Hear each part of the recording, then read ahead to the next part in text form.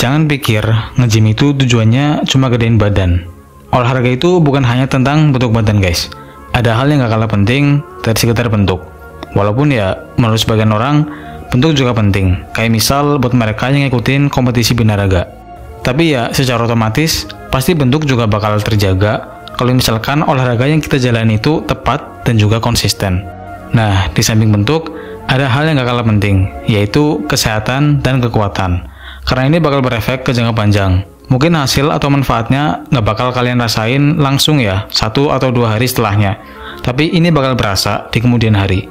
Dan ya cukup banyak manfaatnya, kayak misal daya tahan tubuh jadi kuat, gak gampang sakit, gak gampang capek, badan kerasa enteng dan segar, dan lain-lain masih banyak lagi manfaatnya. Dan gue juga sangat menyarankan ke kalian buat jalani olahraga yang namanya gym. Nah, tapi kenapa harus gym?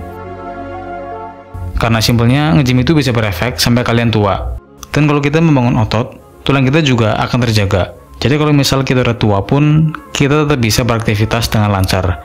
Dan udah banyak juga buktinya, dan gue juga belajar dari mereka-mereka yang udah lakuin hal ini. Banyak juga video-video di sosial media yang lewat di beranda gue, yang isinya para orang tua yang mereka itu ngasih nasihat ke kita anak muda buat lakuin olahraga, terutama nge-gym. Tapi kalau misal olahraga permainan gimana bang? Kayak misal sepak bola, badminton, renang, nyepeda, dan lain-lain. Ya itu juga nggak apa-apa sih menurut gua. Apalagi kalau bisa bawa manfaat lebih, sampai bisa menghasilkan uang misalnya. Itu menurut gua bagus banget sih. Kayak misal dari kalian mengikuti kompetisi atau mengajar dan lain-lain. Tapi tetap sih, gua saranin tetap imbangin sama workout atau nge-gym. Karena kebanyakan olahraga permainan itu sifatnya kardio, bukan membentuk otot. Jadi ya, menurut gua tetap harus imbangin sama olahraga yang membentuk otot. Dan sebagai contoh, ini juga pernah kejadian ya sama Om Deddy Corbuzier. Jadi, dia pernah cerita di salah satu podcastnya, kalau dokternya pernah bilang yang intinya sejauh ini, ternyata otot itu berperan penting di badan dia.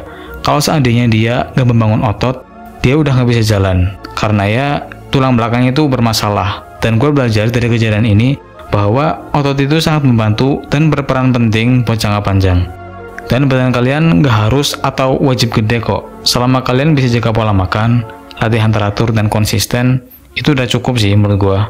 Nggak harus sampai badan yang gede kayak binaraga gitu. Dan buat kalian cewek-cewek juga nggak usah takut. Kalau kalian natural alias nggak pakai obat-obatan kayak steroid dan lain-lain, badan kalian nggak bakal berotot kayak cowok, kayak gini misalnya. Nah, justru kalian bakal dapat badan yang kayak gini. Jadi kesimpulannya tetap olahraga guys. Dan saran dari gua, apa pun olahraganya, tetap imbangin dengan workout atau nge-gym. Dah gitu aja. Makasih yang udah nonton.